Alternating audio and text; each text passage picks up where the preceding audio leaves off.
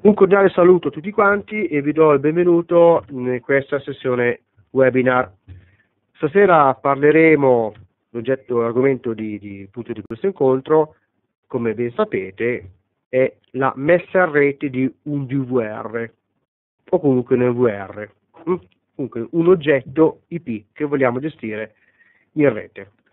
Eh, per chi è la prima volta che approccia questo metodo di erogazione di corso, vi ricordo appunto questo un webinar, eh, ci sarà interattività grazie ad una chat, quindi voi potete scrivere in qualsiasi momento le vostre domande in chat, eh, alle quali poi risponderò alla fine del, dell'incontro.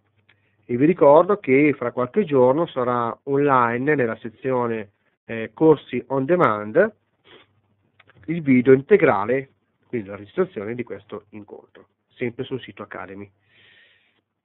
Dicevo, parleremo oggi, stasera, della messa a rete di un DVR. Vi spiego meglio.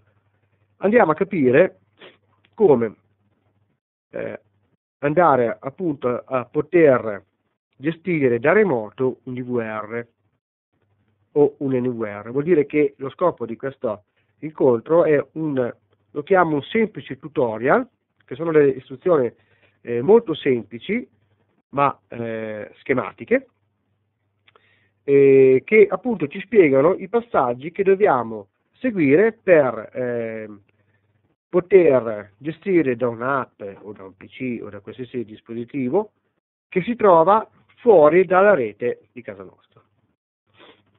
Quindi parlo di aperture porte, servizio DNS oppure in maniera più semplice, lo vedremo in coda, utilizzando invece un servizio cloud, quindi peer-to-peer. Allora, andiamo per gradi. Quello che vediamo nella prima slide è la situazione che andremo ad analizzare, ovvero parliamo di oggetti che sono nella rete LAN locale, sono questi che vi sto indicando. Quindi nella rete domestica, quella di casa nostra, troviamo questi elementi. Innanzitutto troviamo il model router, okay, che è l'unico e solo gateway tra rete LAN locale e rete esterna, ovvero il mondo internet. Poi troviamo i vari oggetti connessi alla rete LAN, ad esempio un PC, PC, ad esempio oggetti wifi, e troviamo il nostro DVR che vogliamo gestire. Gestire cosa vuol dire? Eh, vogliamo visualizzarlo tramite o un'app dedicata, una web app oppure un browser. Quindi il nostro DVR sarà connesso alle proprie telecamere e il DVR è connesso anch'esso in rete locale tramite un cavo. Mm? Quindi questa linea di demarcazione appunto suddivide il mondo locale, la rete LAN di casa nostra, dal mondo esterno, cioè il mondo internet. Ecco, ogni oggetto che fa parte del, del nostro eh, impianto sono eh, appunto oggetti IP, quindi ogni, eh, ognuno dei quali ha appunto un indirizzo IP. Quindi di norma è il model router che assegna l'indirizzo IP ai vari oggetti, oppure se i vari oggetti IP sono, non sono in DHCP ma eh, sono a indirizzo fisso, loro hanno un indirizzo IP appunto fisso. Quindi ad esempio un PC piuttosto che eh, un telefono wifi sono in DHCP, quindi l'indirizzo IP è assegnato dal nostro model router. I nostri DVR, i DVR BTC in questo esempio, ovviamente, hanno un indirizzo preassegnato in fabbrica che è quello che vedete indicato 192.168.1.108. Quindi di fabbrica tutti i DVR Piticino hanno questo indirizzo fisso, ovviamente potrete cambiarlo. E di norma il model router, che è il gateway principale del mio impianto, ha indirizzo 192.168.1.1. Quindi quello che cambia, come notate bene in questi tipi di indirizzi, è sempre il numero finale. Quindi quando leggiamo un 192, 168, 1, eccetera, parliamo di oggetti IP che fanno parte della rete LAN locale. Okay? Il model router, dicevo, è l'unico gateway, l'unica interfaccia tra mondo esterno e rete LAN. Quindi lui, il model router, ha due indirizzi IP. Uno è un indirizzo IP relativo alla rete LAN, quindi come dicevo prima 192, 168, 1.1 e poi ha un indirizzo IP relativo invece al mondo internet che in questo esempio è 91, 208, 195, 68. Vedete che è un indirizzo totalmente differente come composizione rispetto agli altri, non è 19268, è un numero, quindi un indirizzo, che è assegnato dalla rete, in questo caso la rete internet, assegnato un indirizzo al nostro model router. Quindi lui, il model router, è un indirizzo assegnato dalla rete internet e ha un indirizzo IP invece che fa parte della rete LAN. Allora, il nostro scopo è quello di visualizzare le telecamere del nostro DVR, quindi le telecamere adesso associate e collegate, da remoto, ovvero non dal monitor che eventualmente è collegato al DVR, ma ad un altro dispositivo. Può essere un PC, può essere un'app, eccetera. Allora abbiamo due eh, situazioni. La prima, la più semplice. Voglio visualizzare le telecamere del mio DVR da rete locale, cioè dall'interno della mia rete LAN. Ok? Quindi non dall'esterno. Ripeto, questo è facile. Molto banalmente dovrò digitare, ad esempio se utilizzasse un PC, l'indirizzo della rete LAN locale del mio DVR nella barra di indirizzi. Vi ricordo, vediamo che il nostro DVR ha indirizzo 192.168.1.108, io digito questo indirizzo nella barra di indirizzi, ad esempio in Internet Explorer, e vado ad accedere alla pagina web, quindi al menu, del mio DVR. Quindi digitando l'indirizzo IP locale nel browser accedo al menu principale dove mi chiede nome utente, la password, sono la login e password del DVR, che può essere admin, admin, eccetera, eccetera, e basta. Facendo questa operazione vado a visualizzare le telecamere sul mio browser. Oppure se utilizzassi un'app, ad esempio l'app Biticino, semplicemente dall'app dovrò inserire sempre nei vari parametri, come vedete quello che vi sto indicando, l'indirizzo IP del mio DVR 192.168.1.108. Ok? Ecco, fino a qua, ripeto, è facile, però anche è vero che ha poco senso che io visualizzi le telecamere da un dispositivo all'interno della mia rete locale, è sufficiente appunto andare sul monitor del DVR. E ha invece lo scopo ben più, eh, più significativo invece visualizzare da rete esterna, quindi dal mondo internet. Quindi io sono qua, nel, in questo studio televisivo, voglio, voglio, visualizzare le telecamere di casa mia. in questo caso quindi dovrò andare a interfacciare dei dispositivi che stanno al di fuori della rete locale dove invece è collegato il mio DVR. Anche qua abbiamo due situazioni. La prima, la più semplice, il mio model router, che ripeto è l'unica interfaccia tra mondo internet e mondo interno, cioè rete LAN locale, ha un indirizzo IP fisso. Quindi il famoso 91.208.195.68 è un esempio, non cambia mai. Nel senso che questo indirizzo è fisso, perché è fisso? Perché l'ho richiesto il mio gestore telefonico. Io richiedo Telecom, Vodafone, ah, ciò che è il mio gestore telefonico, un servizio di IP fisso.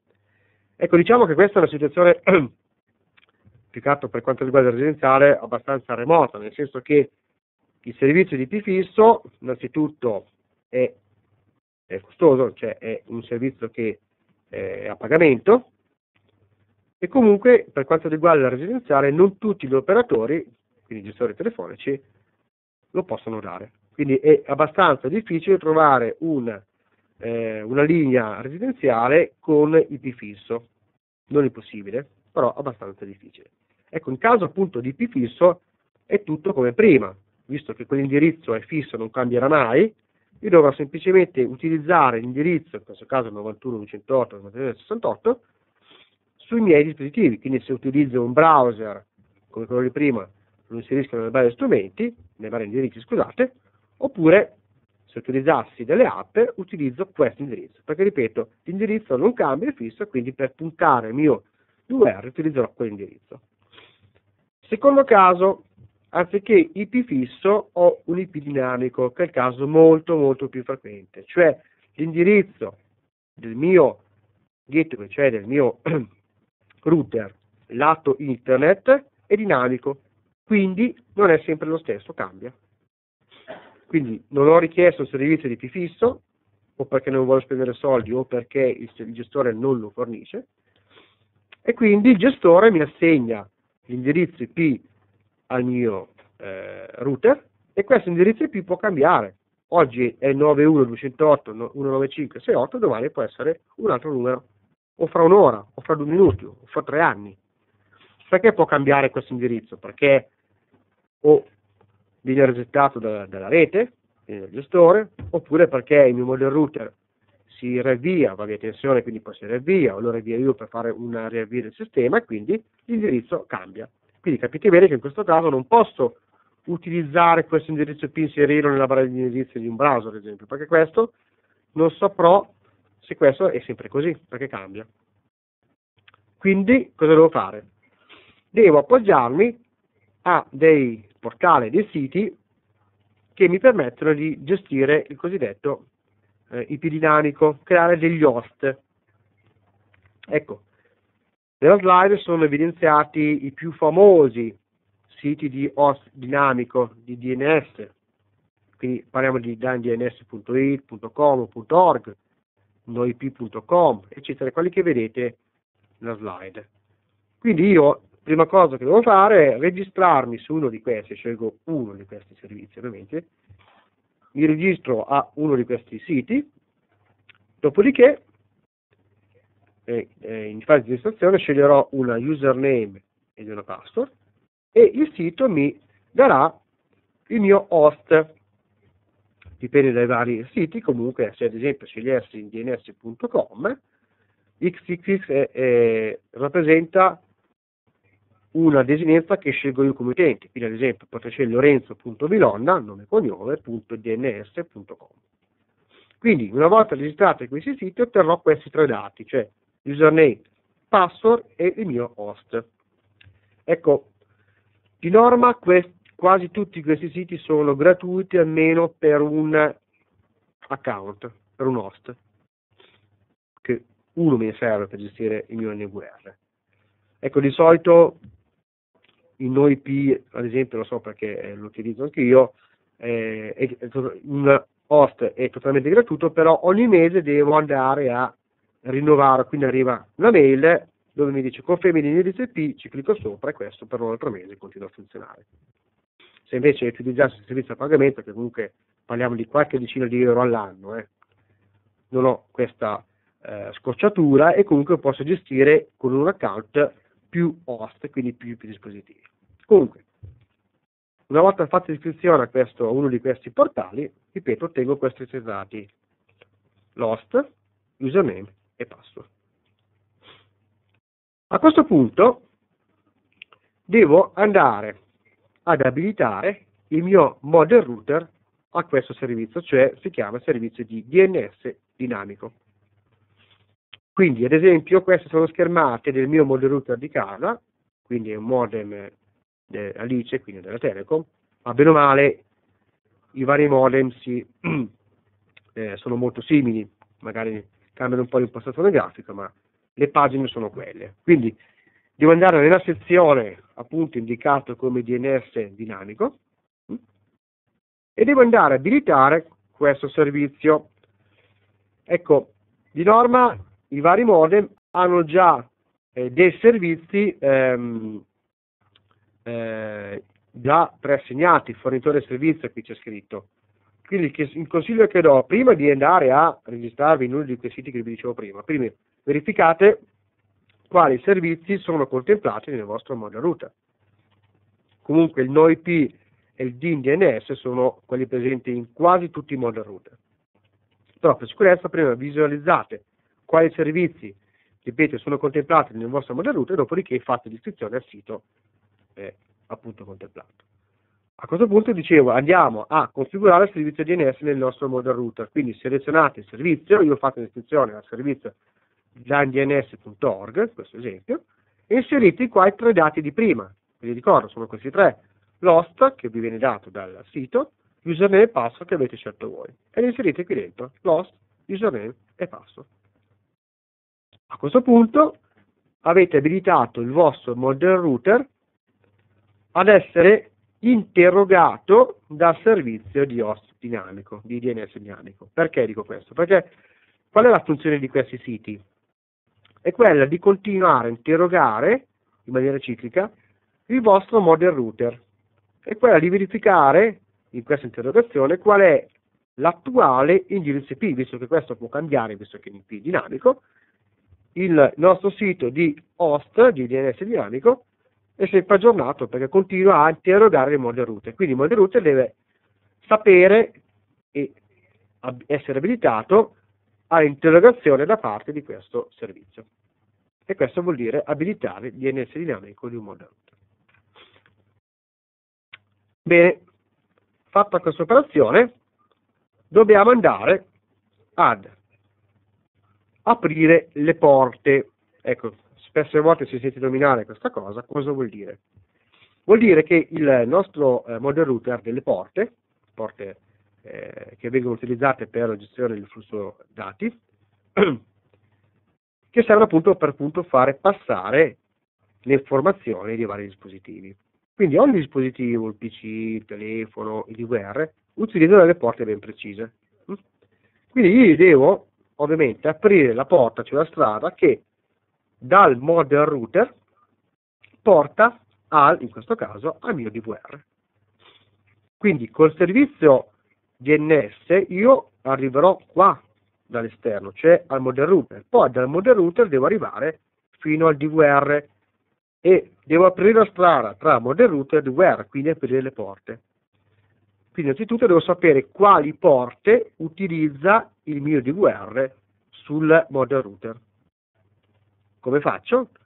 Semplicemente devo andare nel menu del mio model router.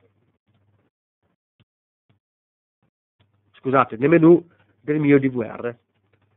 Questo è uno screenshot del mio DVR. Vado nella sezione Network, quindi menu di rete, e nelle varie schermate principali di questo menu troviamo le informazioni che mi servono.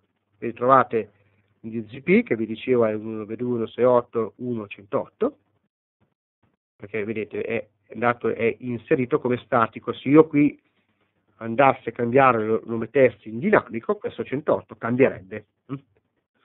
E qui troviamo le porte che mi possono cioè che le porte che utilizza il DVR come comunicazione. Vediamo client port 37777 HTT port è la porta internet, quella utilizzata da tutti i dispositivi, anche che è la 8080, e in questo caso la mobile port 34778. Quindi semplicemente sono andato in questa pagina del menu del DVR per capire quali sono le porte utilizzate da, appunto dal mio DVR. Quindi ho capito quali sono le porte utilizzate. Quindi il mio DVR, l'ho scritto qua, per semplicità di lettura utilizza queste tre porte 8080, 37777 e la 34778. Quindi il prossimo step sarà quello di andare sul model router e aprire queste porte, in modo tale che ho il passaggio pieno da model router al DVR. Come faccio? Torno nel menu del, eh, del mio eh, model router e vado nella sezione port mapping oppure port forward, for one, eccetera, eccetera. ho aperto la porta. Quindi andando in questo menu devo andare a aggiungere delle porte da aprire. Ecco, qui ne ho aperta una per farvi un esempio. Quindi semplicemente nome, lo posso chiamare DWR, indirizzo è l'indirizzo IP locale l'emio di guerra, quindi 192, 168, 108 ad esempio.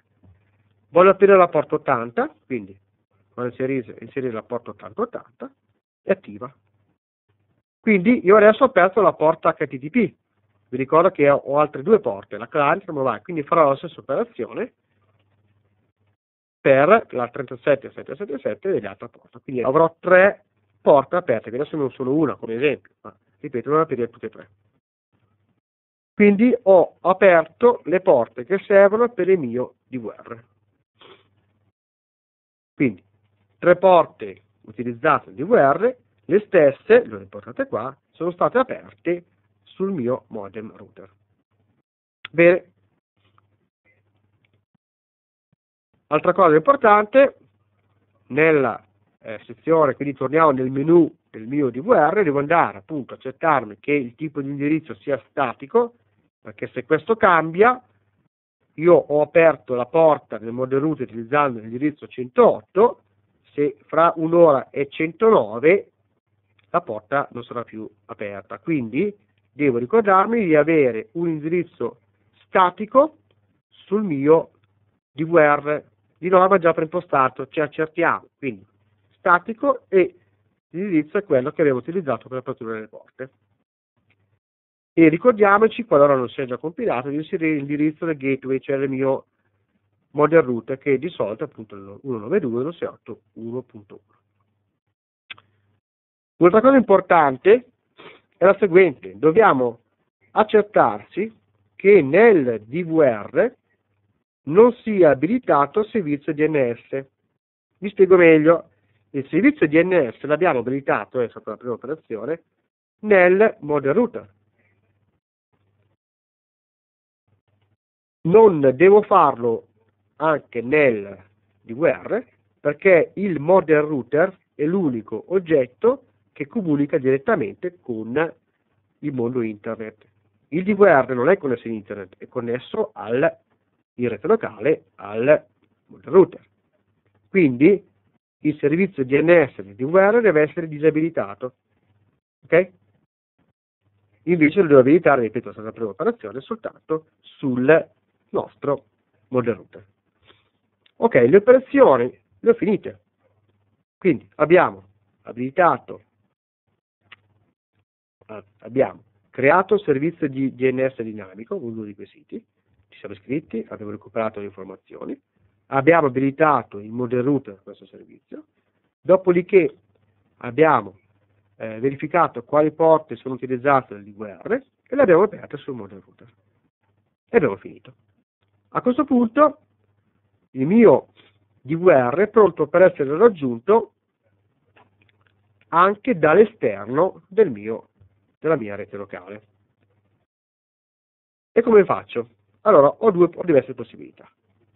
Innanzitutto, posso utilizzare, ad esempio, un software, in questo caso BTCino, che si chiama BTCino Surveillance Client. È un software ovviamente gratuito che o è scaricabile da qualsiasi sito di download BTC oppure lo trovate già su un mini DVD all'interno degli DVR eh, oppure, oppure NVR. Questo software, poi ve lo faccio vedere, è un software molto semplice da installare su qualsiasi PC, vi permette di visualizzare che cosa? Il vostro DVR o i vostri DVR, quindi può gestire più impianti contemporaneamente. Okay? Quindi ripeto, un software eh, con, compatibile con tutti i DVR anal- analogici, HD, oppure anche gli NVR, quindi parliamo di, di tecnologia IP. Quindi se, ripeto, devo visualizzare costantemente un DVR o più impianti, quindi più DVR, allora è consigliabile utilizzare un software installato sul PC. Oppure se io ho una esigenza di un accesso occasionale, quindi ogni tanto voglio dare un'occhiata senza dover installare il software, posso andare semplicemente a gestire tutto tramite un browser. Okay? Quindi per quanto riguarda PC è consigliabile Internet Explorer oppure Safari per quanto riguarda Mac. Mm? Ecco, se utilizzassi il software potremmo fare molto semplicemente, lo installo ovviamente, nella semplice unica pagina di configurazione dovrà inserire, vedete qui dentro, il, che cosa? Semplicemente dovrà eh, inserire soltanto il l'host dinamico che mi ha creato il sito di DNS. In questo esempio è lorenzo.vilonna ns0.it. La porta è la porta client che utilizza DWR Biticino che abbiamo visto prima da 37777 che abbiamo aperto anche sul nostro model router. Nome utente, passo solo il nome utente e passo del DVR che di default è admin, admin. Fatta questa cosa, quindi molto semplice, quindi l'indirizzo IP che viene richiesto dal software non è l'indirizzo IP locale del DVR 192.168.1.108, ma ovviamente è l'indirizzo e la, string, la stringa host che è creato appunto il sito. Fatta questa semplice operazione, dal mio PC attraverso questo software visualizzerò, in questo esempio sono tre telecamere, del, del mio TVR. Invece se io volessi utilizzare un browser, quindi non il software, tutto come prima, però anziché digitare eh, l'indirizzo IP fisso del mio DVR, andrò a inserire anche qui dentro la stringa del eh, host, la, la, la, host name, quindi del, creata dal servizio DNS dinamico, che anche in questo caso vedete lorenzo.vidal.s0.it 2.8080 perché in questo caso la porta HTTP, visto che sto usando un browser internet. E anche questa, la, la 8080, è stata aperta nel model router. E poi qui accediamo, come prima se vi ricordate, alla pagina iniziale del DVR, anche qua nome, password del DVR e la porta clave che è già comunque precompilata. E qui visualizziamo, questa è la pagina eh, web del DVR, quindi non è più l'app ma è tutto il, ehm, il browser. Oppure posso utilizzare un'app. L'app BTCino si chiama BTCino CCTV anche questo scaricabile da tutti i siti John BTCino gratuitamente per Apple piuttosto che eh, per Android. Anche qua semplicemente l'app, ho fatto delle screenshot, gestire i dispositivi, inserite l'IP, indirizzo IP anche qua, lorenzo.vilona.ns0.it, la porta 37777 e visualizzate tra l'app le telecamere. Ok? Ecco, tutto questo che vi ho fatto vedere finora riguarda la messa in rete di qualsiasi dispositivo, di qualsiasi DVR, che sia Biticino o non. Ok? Quindi devo andare a fare questa operazione, ripeto, quello che noi alla fine serve è la stringa lost, mm, e lenzo.vilon.s0.10 eccetera, e la login e password, che andrò a inserire nei vari eh, delle varie app piuttosto che dei vari indirizzi delle, eh, dei vari ehm, browser. Ecco, da poco tempo nel catalogo TVC BTCino sono comparsi dei nuovi eh, DVR HD piuttosto che NVR mh, hm, con mh, hm, un servizio peer-to-peer quindi vuol dire che BTC mette a disposizione dei clienti gratuitamente il servizio cloud. Quindi sul catalogo, quando trovate questa icona peer-to-peer, quando trovate BTC Camera Viewer, vuol dire che questo oggetto, in questo caso questo DVR, è un dispositivo che posso visualizzare tramite l'app, quella che vi ho fatto vedere che si chiama CCTV, ed è un dispositivo peer-to-peer, cioè che utilizza il servizio cloud. Quindi se io utilizzassi un oggetto che supporta un servizio cloud, in questo caso fornito gratuitamente dal Biticino, non devo assolutamente neanche pensare, neanche ricordarmi tutto ciò che abbiamo visto finora. Quindi non devo né pensare all'IP fisso IP dinamico, né sapere qual è l'indirizzo del mio DWR, né andare a mettere male un model router, e neanche ovviamente aprire le porte del Modern Roots. Quindi è un servizio molto, eh, si vede che ci, ci, permette in maniera molto più semplice di visualizzare da remoto anche locale il mio DVR o NVR che sia. Quindi se voi utilizzaste, ripeto, uno di questi eh, prodotti Viticino con accanto, questi sono i VR più E, tra l'altro sono i VR che hanno al loro interno anche lo switch 486 canale più E, e sono appunto, come potete leggere dal, dal logo a fianco dell'oggetto, peer-to-peer. Ecco, in questo caso cosa devo fare? Allora, molto più semplicemente, se io voglio accedere da remoto attraverso il software, cosa devo fare? Anzitutto il software è lo stesso di prima, identico. Quindi anziché appunto il Biticino Service Client lo installo, quando vado, vi ricordate la schermata iniziale, impostazioni, ecco qui dentro non ci inserisco più l'INCP del mio DWR, cioè dell'host creato, del DNS dinamico, ma vedete, vedete una serie di numeri e lettere, YGA, eccetera, eccetera. Cosa sono? Questi qui sono dei, è un codice univoco che contraddistingue ogni DWR o ogni NUR, ovviamente parliamo di peer-to-peer. Okay? Vuol dire che su ogni dispositivo è presente un QR code, poi vediamo cosa serve, e sotto il QR code c'è questa stringa di alfanumerica. Quindi voi qui dentro copiate letteralmente questa sigla. La porta che utilizza questo tipo di oggetti, li trovate anche scritto sopra, la 9000, ok? E poi anche qui nome utente e password. E quindi come prima visualizzate le telecamere da remoto o anche da dentro locale senza, ripeto, aver dovuto mettere minimamente mano al modem router di casa. Se utilizzassi la app, la stessa app di prima, quindi gestire i dispositivi, anziché andare a inserire indirizzi IP, che vi ricordo prima era lorenzo.vilon, eccetera, eccetera, qui dovete semplicemente, in maniera più semplice ancora, scusate il gioco di parole, cliccare sul questo simbolo del QR code, si apre la fotocamera del vostro device, cioè il vostro smartphone in questo caso, e andate a inquadrare il QR code che dicevo prima, che è presente, questo è l'NVR o l'UR che sia, appunto che è presente su un adesivo incollato sul dispositivo. In automatico l'app legge il QR code ovviamente e riporta questa serie di numeri e lettere. Quindi anziché scrivere la manina come avete fatto prima tramite il software, qui è ancora più semplice, tramite la fotocamera lo importate, ovviamente i PC difficilmente hanno una fotocamera, quindi un device mobile si presta anche a questa funzione, quindi inquadrate il QR code, viene importato il codice univoco e siete online. Ok? Quindi avete capito?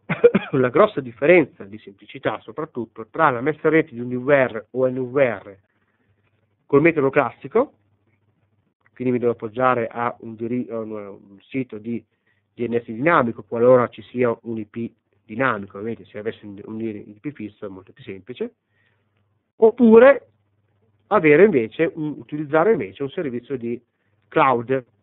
Che ripeto BTC lo mette a disposizione gratuitamente con i prodotti PTC, l'UR o l'UR che siano peer-to-peer. Lo ripeto ancora una volta, le istruzioni che vi ho dato per la messa in rete di UR e UR in maniera classica valgono per qualsiasi dispositivo. Quindi è sicuramente un metodo che vi può venire utile anche in altre situazioni. Bene, io qui ho concluso. Vi ringrazio per la vostra cortese attenzione numerosa partecipazione, molto attiva tra l'altro, e vi do appuntamento alla prossima sezione webinar. Grazie a tutti e buona serata.